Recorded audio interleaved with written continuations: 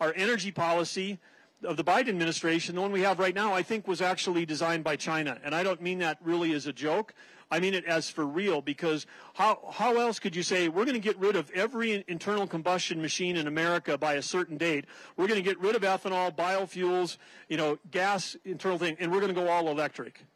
We're going to go all electric because that's good for the environment. Let me tell you how it's bad for the environment because right now 85% of the rare earth minerals are controlled by China.